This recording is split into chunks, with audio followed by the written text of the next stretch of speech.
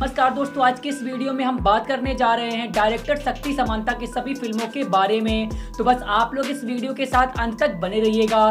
साथ ही साथ आपको अगली वीडियो किस टॉपिक पर चाहिए, किसके ऊपर चाहिए, ये भी जल्दी से हमको कमेंट बॉक्स में बताइए। उन्नीस सौ पचपन में डायरेक्टर शक्ति समानता की पहली मूवी आई, बहू।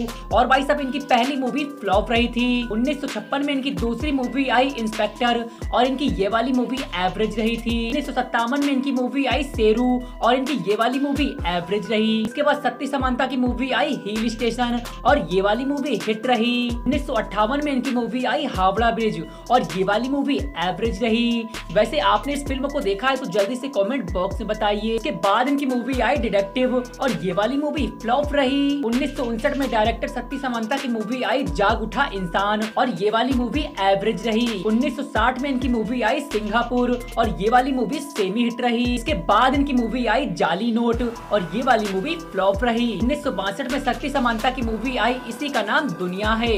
और ये वाली मूवी फ्लॉप रही। इसके बाद इनकी मूवी आई चाइना टाउन और ये वाली मूवी हिट रही। इसके बाद शक्ति समानता की मूवी आई नोटी बॉय और ये वाली मूवी फ्लॉप रही। उन्नीस में इनकी मूवी आई एक राज। और ये वाली मूवी एवरेज रही। उन्नीस में इनकी मूवी आई कश्मीर की कली। और ये वाली मूवी हिट रही। उन्नीस सौ छियासठ में इनकी मूवी आई सावन की घटा।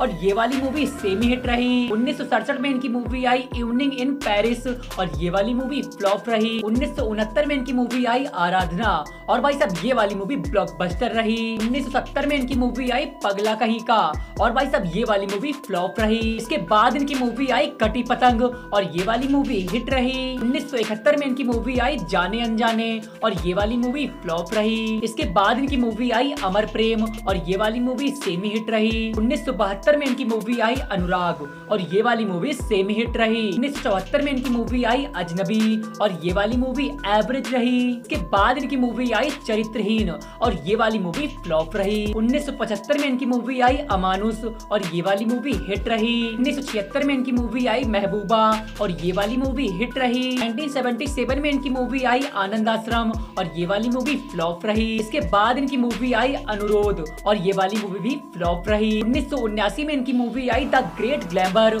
और ये वाली मूवी सेमी हिट रही। 1980 में इनकी मूवी आई ख्वाब, और ये वाली मूवी फ्लॉप रही। 1981 में इनकी मूवी आई बरसात की एक रात, और भाई साहब, ये वाली मूवी एवरेज रही। उन्नीस सौ बयासी में इनकी मूवी आई अयास, और ये वाली मूवी फ्लॉप रही। उन्नीस सौ चौरासी में इनकी मूवी आई आवाज़, और ये वाली मूवी एवरेज रही। उन्नीस सौ पचासी में इनकी मूवी आई आर पार, और ये वाली मूवी फ्लॉप रही। इसके बाद इनकी मूवी आई अलग अलग और ये वाली मूवी भी फ्लॉप रही। उन्नीस सौ नब्बे में इनकी मूवी आई दुश्मन, और ये वाली मूवी भी फ्लॉप रही। उन्नीस सौ तिरानवे में इनकी मूवी आई गीतांजलि, और ये वाली मूवी भी फ्लॉप रही। उन्नीस में इनकी मूवी आई आँखों में तुम हो, और ये वाली मूवी डिजास्टर रही। दोस्तों, यह था डायरेक्टर शक्ति समानता का फिल्मी सफ़र। आपने इनकी कौन सी फ़िल्म देखी है, जल्दी से कमेंट बॉक्स में बताइए। इसके अलावा आपको अगली वीडियो किस टॉपिक पर चाहिए, किसके ऊपर चाहिए, ये भी जल्दी से हमको कमेंट बॉक्स में बताइए।